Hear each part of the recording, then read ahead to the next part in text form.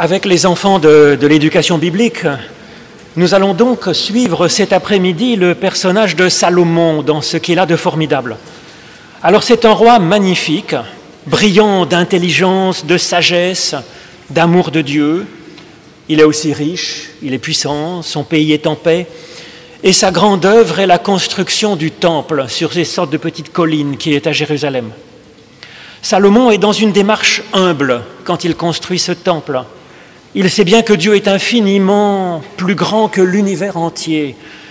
Et donc il n'est pas idiot, il sait très bien que ce temple ne peut pas contenir Dieu, qu'il ne sera pas la maison de Dieu au sens propre du terme, comme s'il pouvait enfermer Dieu dans une boîte, le posséder. Ce temple n'est qu'un symbole, une aide pour que chacun sache qu'il puisse compter sur Dieu.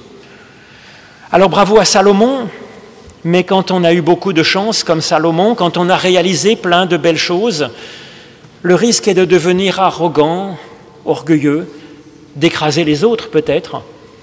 Alors c'est ce que dénonce quelques siècles plus tard le prophète euh, Sophonie, à une époque où ils essayent de, réformer un peu la religion et puis l'État d'Israël. Donc c'est au livre du prophète Sophonie au chapitre 3 à partir du verset 8. Alors nous l'étudierons ici pour euh, ce temps de culte et puis les enfants eh bien l'étudieront avec James donc euh, en face ce même texte. Attendez-moi donc, oracle de l'Éternel. Attendez-moi au jour où je me lèverai pour toujours. Alors je changerai pour les peuples. Il y aura une lèvre pure afin qu'ils invoquent tous le nom de l'Éternel pour le servir d'une même épaule, d'un même effort. En ce jour-là, tu n'auras plus à rougir de toutes tes actions par lesquelles tu as péché contre moi, car alors j'enlèverai du milieu de toi ceux qui triomphaient avec arrogance, et tu ne feras plus l'orgueilleux sur ma montagne sainte. Je laisserai au milieu de toi un peuple humble et petit, il trouvera son refuge dans le nom de l'Éternel. Il y aura un reste d'Israël, ils ne commettront pas d'injustice, ils ne diront pas de mensonges, mais ils se construiront, ils se reposeront, et plus personne ne les menacera. Pousse des cris de joie, fille de ma montagne sainte, pousse des cris de bonheur, Israël. Réjouis-toi et triomphe de tout ton cœur, fille de Jérusalem. L'Éternel a détourné les conséquences de tes fautes. Il a éloigné ton ennemi. Le roi d'Israël, c'est-à-dire l'Éternel ton Dieu, est au milieu de toi. Il est au-dedans de toi. Tu n'as plus de malheur à éprouver. L'Éternel ton Dieu est au milieu de toi, au-dedans de toi comme un héros qui te sauve. Il fera de toi sa plus grande joie. Il gardera le silence dans son amour. Il aura pour toi des cris de bonheur. Voici, en ce temps-là, j'agirai contre tous tes oppresseurs, je délivrerai les boiteux, je recueillerai ceux qui ont été chassés, et je ferai d'eux un sujet de louange et de gloire dans tous les lieux où ils sont méprisés. En ce temps-là, je vous ramènerai, en ce temps-là, je vous rassemblerai, car je ferai de vous vraiment un sujet de gloire et un sujet de louange parmi tous les peuples de la terre oracle de l'Éternel. Oui, Éternel, ta parole est une lampe à mes pieds, une lumière sur le sentier de toute notre vie. Et donc je vous propose de poursuivre dans la louange à Dieu avec le psaume 36, toujours dans le psautier français, les trois strophes de ce psaume 36. Ô Seigneur, ta fidélité remplit les cieux.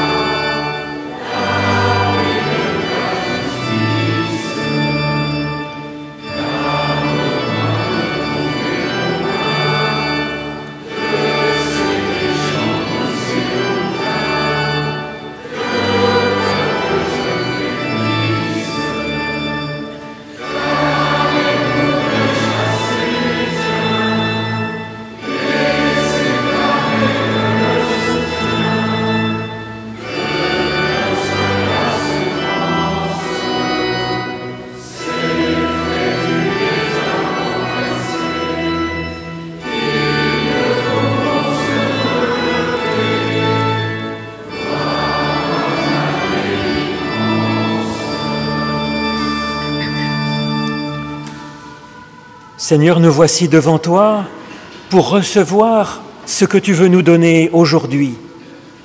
Aide-nous afin que dans ce témoignage que nous avons lu dans la Bible, nous puissions chacune et chacun découvrir quelque chose qui vient de toi et que tu as mis à part pour nous le donner directement dans notre esprit, dans notre cœur.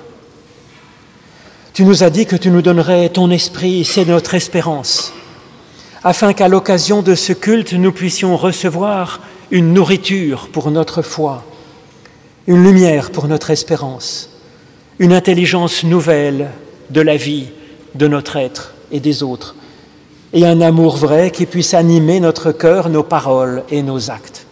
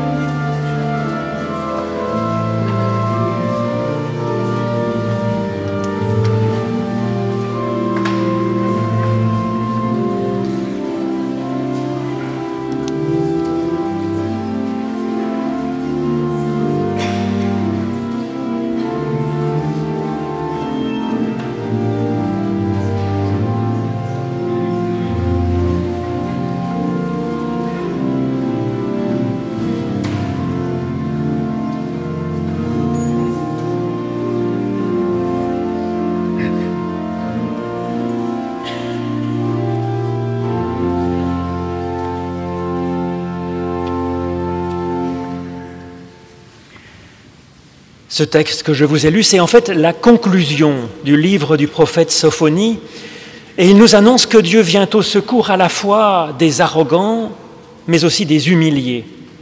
Ou plutôt, il vient à notre secours dans nos arrogances et dans nos humiliations. Et la solution, donc à la fin de ce livre, c'est de nous faire prendre conscience de notre vraie valeur et de nous permettre de, l'exprimer de sorte que le monde entier et prennent conscience de, des fruits de notre valeur. En fait, l'arrogance et l'humiliation ont une même cause, celle de ne pas être heureux de notre propre valeur.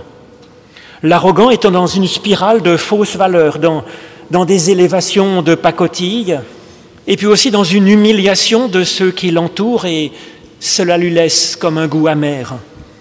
Cette arrogance, en fait, n'est qu'une fuite en avant, car même au cœur de l'arrogance, quand elle nous prend finalement, nous sentons bien que ce n'est qu'une apparence, que c'est de l'illusoire, que c'est du temporaire, et que cette arrogance ne nous soulage absolument en rien.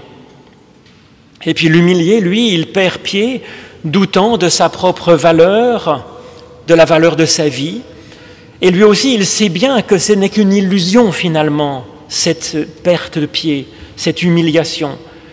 C'est une, illusion dont il est parfois aussi prisonnier en fait que l'arrogant de son arrogance.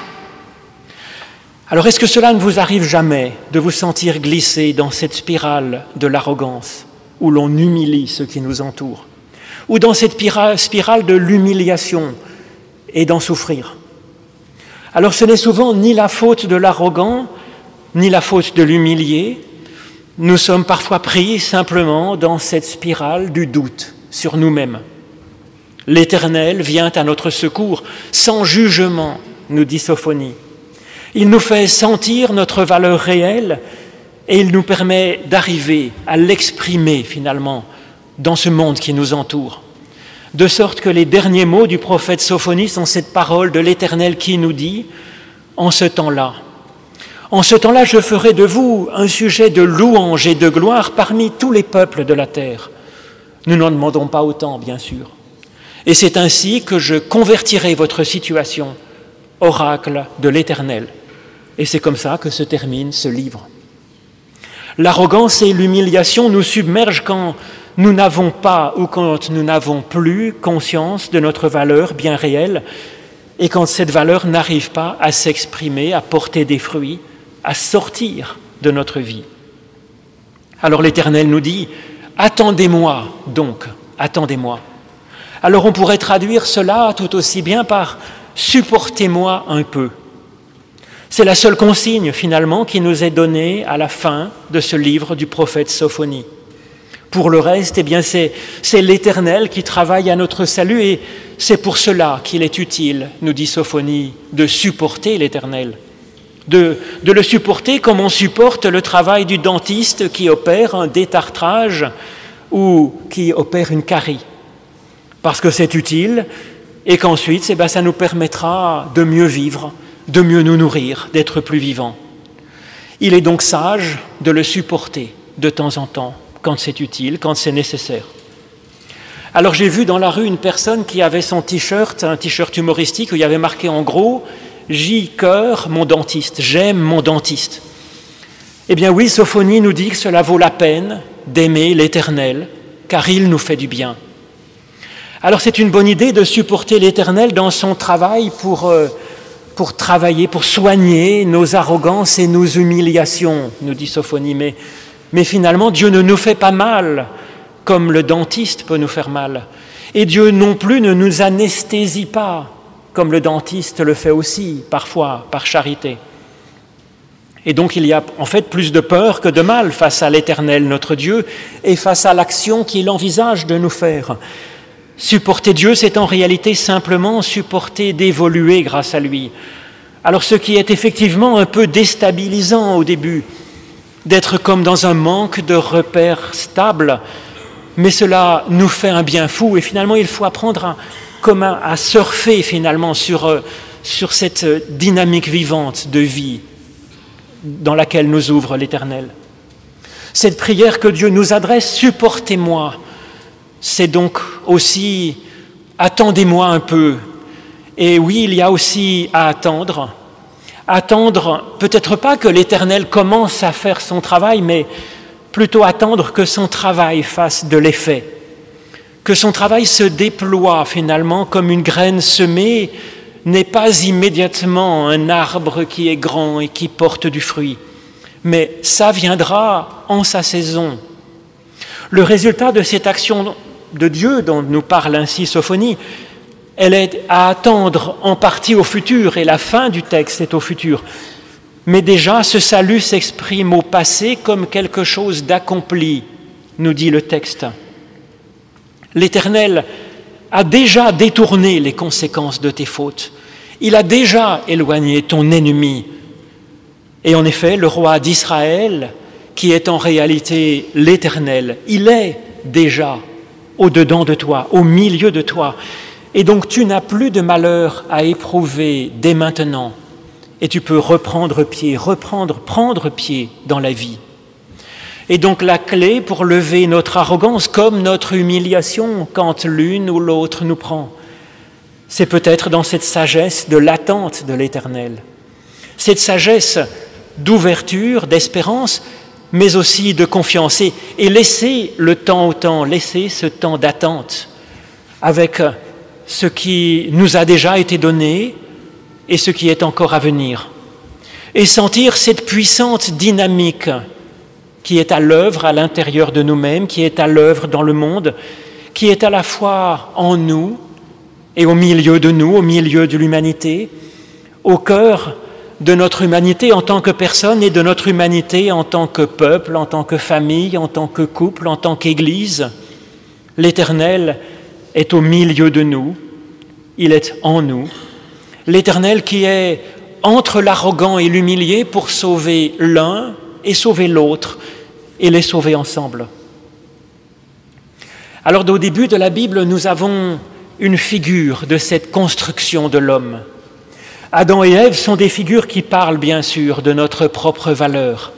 Ils ont été créés, ils ont été bénis par Dieu, tous les deux.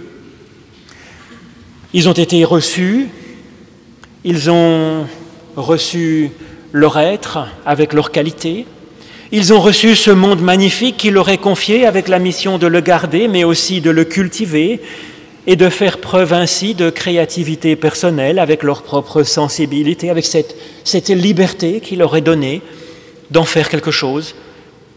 Et donc Adam et Ève sont bourrés de talent. Pourquoi l'arrogance leur monte-t-elle ainsi au nez, cherchant à égaler Dieu? En réalité, l'idée n'est pas si mauvaise que ça, puisque le projet de Dieu est effectivement de nous créer à son image.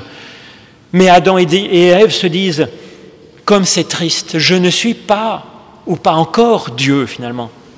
Ils sont déjà extraordinaires, ils sont dans un monde merveilleux où ils peuvent vraiment faire avancer les choses, ils ont des qualités de liberté et de créativité proprement divines. Mais puisqu'ils n'ont pas tout, puisqu'ils n'ont pas tout tout de suite, c'est pour eux comme s'ils n'avaient rien. Et ils se sentent humiliés par ce manque, par ce délai, par cette attente. Et l'arrogance les aveugle, les prend une arrogance contre Dieu, puis l'arrogance d'Adam, humiliant Ève, sa femme, puis l'arrogance de Caïn contre son frère, le tuant. Alors il faut attendre un peu seulement, attendre un peu, nous dit l'Éternel. Il y a du travail, il y a un développement en cours, alors pour ne pas désespérer, il suffirait de discerner le déjà là de notre valeur, valeur bien réelle, et cette, cette réalité d'une puissante dynamique qui est à l'œuvre. Oui, l'Éternel est au milieu de toi, il est au-dedans de toi, nous dit Sophonie. Et dans le présent, dans le présent déjà, si vous voulez, cette évolution, est loin d'être un coup de roulette de dentiste ou ce petit machin qui vibre pour enlever le tartre, qui est peut-être encore pire. Mais ce que nous pouvons ressentir, nous dit Sophonie, quand on est à l'écoute de cette dynamique qui est en nous, c'est pousse des cris, pas des cris de souffrance, des, des cris de joie, fille de ma montagne sainte, fille de cette élévation qui est donnée par Dieu finalement déjà. Pousse des cris de bonheur, Israël, Réjouis-toi et, triomphe de tout ton cœur, fille de Jérusalem, déjà enfantée finalement dans une paix qui commence à se manifester. Alors Salomon, au début de son règne, il, il maîtrise bien finalement cette situation de l'homme qui est un être en devenir. Salomon a bien conscience de sa valeur et qu'il a tout reçu finalement. Donc il le vit, cette, valeur, sans arrogance ni humiliation. Il est alors bien lui-même, bien devant les autres et bien devant Dieu. Il se sait puissant, mais ayant encore à apprendre. Il dit, je suis comme un enfant. Il sait ce qu'il doit à l'Éternel et à son Père, mais sans s'en sentir humilié, il en est simplement reconnaissant, et il le dit dans la louange et dans la prière à Dieu dans une attente encore que l'Éternel puisse travailler au-dedans de lui. Il se sait roi, mais ce que cette fonction évoque alors pour lui, c'est, de chercher à servir son peuple et à lui faire du bien. Il est ainsi dans, dans une attente de pouvoir produire des fruits finalement avec ce qu'il est, mais il s'y prépare tranquillement dans la planification, dans la louange dans l'attente, dans l'espérance. Salomon a ainsi à la fois une connaissance de sa valeur et de ses limites, sans humiliation ni arrogance, ni arrogance, il, attend l'Éternel. Il aime l'Éternel. Mais pour nous, il est difficile d'être ainsi, bien sûr, dans notre valeur réelle, telle qu'elle est en fait, telle qu'elle est en réalité. Et puis bien dans le temps, dans ce temps du déploiement finalement de cette valeur. Et et dans l'attente de pouvoir produire des fruits qui nous font pousser des cris de joie, qui nous rendent heureux d'avoir essayé de faire un peu quelque chose et d'avoir pu embellir ce monde, d'avoir pu le rendre un peu meilleur, un peu plus fraternel et un peu plus beau. Et du coup, nous souffrons souvent de l'arrogance et de l'humiliation, de notre arrogance et de celle des autres finalement qui nous humilient. Et donc nous souffrons aussi de notre humiliation et puis de celle que les autres parfois vivent à cause de nous, soit que nous ayons été arrogants ou simplement parce que nous avons une valeur bien réelle et que les autres autour peuvent en être jaloux. C'est comme ça. Selon le prophète Sophonie, l'Éternel nous promet, j'enlèverai du milieu de toi tous ceux qui, triomphaient avec arrogance. Et donc cette promesse, elle est à, à double sens, à double compréhension, à mon avis que l'Éternel nous délivrera du triomphe de ceux qui sont autour de nous avec arrogance. Donc il nous, il nous délivrera peut-être pas de l'arrogant qui est autour de nous, car pour ça, il faut qu'il y ait un travail de Dieu avec l'arrogant. Et ça, nous n'en sommes pas maîtres, et Dieu pas complètement non plus. Mais ce que Dieu peut faire, c'est nous délivrer de la morsure de cette arrogance de l'autre, des autres autour de nous, et d'en moins souffrir finalement. Et c'est vrai que si nous prenons conscience de notre vraie valeur, et elle est réelle finalement, de notre valeur présente et de notre valeur à venir, grâce à Dieu, alors l'arrogance des autres, euh, leurs injures, et la valeur réelle des autres, valeur que nous n'avons pas toujours dans certains domaines, bien sûr, tout cela va glisser comme de l'eau sur les plumes d'un canard. Juste parfois le temps de ressentir comme une, pique finalement, sous l'effet de la surprise, mais nous ne serons pas profondément atteints par cette arrogance du monde autour de nous. Mais cette promesse de Dieu d'enlever l'arrogant du milieu de toi, c'est pas simplement enlever l'arrogant du milieu de l'humanité et puis ce que ça peut nous apporter de néfaste. Enlever l'arrogant du milieu de toi, c'est aussi enlever l'arrogant qui est en nous, qui est au, cœur de notre être finalement. Alors nous dit l'Éternel, tu ne feras plus l'orgueilleux sur ma montagne sainte, car cette montagne déjà sur laquelle nous a élevé un peu Dieu, ça peut être effectivement source d'arrogance pour nous.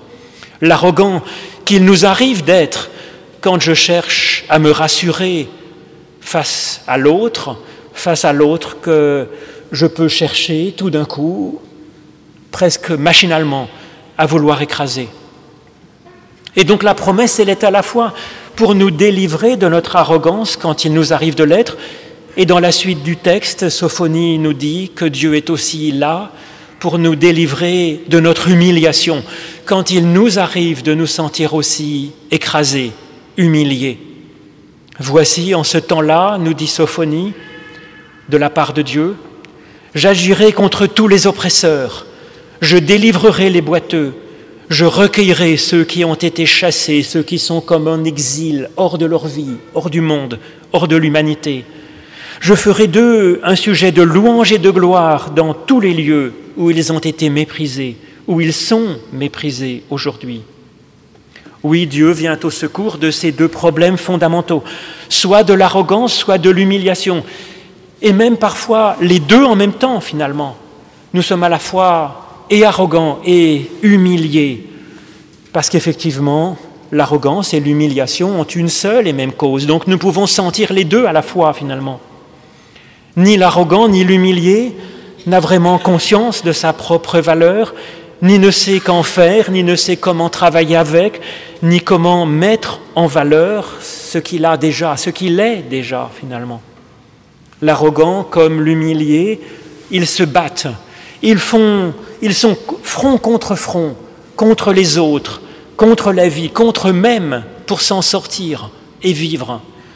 Sophonie nous propose plutôt que d'être front contre front, d'être, de faire épaule commune finalement, d'unir nos efforts pour porter, porter le monde, porter cette dynamique d'évolution. Attendez-moi donc, dit l'Éternel. Attendez. Attendez, ce, pluriel est significatif. Ce n'est pas simplement un appel à la cantonade pour que chacun individuellement nous attendions. Oui, aussi. Mais c'est au pluriel. C'est ensemble que nous pouvons prendre conscience de notre propre valeur à chacun. Dans la prière, Dieu nous révèle notre propre valeur, oui, individuellement, personnellement. D'autres, parfois, et nous ne prêtons pas assez attention, nous donnent un signe d'encouragement, un sourire, un remerciement, ou simplement de les voir un peu plus vivants, un peu plus joyeux après qu'avant notre action, nous révélant un peu quelque chose de notre vraie valeur. Et nous pouvons nous aussi être comme Sophonie, prophète de l'Éternel, prophète pour un autre et lui révéler. Et c'est là que c'est pas facile à faire, si vous voulez. Lui révéler, lui annoncer sa propre valeur, là lui la faire sentir. Et cela, bien sûr, demande de l'humilité de notre part pour laisser place à l'autre d'exprimer sa propre valeur, peut-être de nous apporter quelque chose et qu'il se sente ainsi valable. Et quant au lieu de chercher à écraser l'autre, nous aidons ainsi un autre. Nous mesurons alors notre capacité à aimer et à créer, nous expérimentons un peu en nous des qualités divines. Au lieu de cette formidable perte d'énergie et de talent que sont nos combats dans l'arrogance et dans l'humiliation, ensemble nous pouvons alors soulever des montagnes quand nous faisons épaule commune, comme le dit Sophonie. Je laisserai au milieu de toi, nous dit l'Éternel, un peuple humble et petit qui trouvera son refuge dans le nom de l'Éternel. Alors ça peut être troublant finalement comme si l'Éternel voulait de nous faire quelqu'un d'humble et de petit. Il n'est pas question de comprendre ce texte comme si Dieu ne nous débarrassait de notre arrogance et de notre humiliation que pour nous soumettre à sa propre arrogance. Et il y a une humiliation encore plus terrible devant l'infini de la transcendance de Dieu. Mais c'est impossible, car la prophétie de Sophonie nous montre au contraire un Dieu qui fait tout pour nous servir nous libérant, nous aidant à avancer, nous recueillant, nous valorisant, faisant de nous un sujet de gloire et de louange pour lui et pour tous les peuples. Et au lieu de nous surplomber d'une hauteur infinie, il se fait à l'intérieur de nous-mêmes pour nous soulever finalement. Mais c'est la possibilité de se sentir petit sans être humilié finalement que nous propose Dieu c'est la tranquille possibilité de renoncer à nos arrogances et à nos paillettes pour une véritable estime de soi-même. C'est la possibilité de reconnaître que les autres sont grands sans s'en sentir humiliés de la moindre façon. C'est considérer l'ampleur du travail à faire pour rendre ce monde plus vivable et oser porter notre petit geste de création, notre petite offrande. C'est ne rien négliger des petits bonheurs, des petites bénédictions, c'est oser entrevoir la vérité tout en renonçant à croire, la posséder, c'est laisser le temps au temps, c'est construire peut-être un temple comme Salomon quelque part sur une petite montagne, mais juste comme un signe finalement pour nous rappeler d'attendre Dieu et d'attendre l'Éternel tous ensemble et faire place en nous pour son souffle de vie, et nous laisser le temps, le temps pour les autres de porter leurs fruits en leur saison, à leur rythme, et de laisser le temps à Dieu de nous élever et de faire de nous quelqu'un de grand. Oui, le laisser être comme une mère, comme une mère qui, qui donne vie à son enfant, jour après jour. Amen.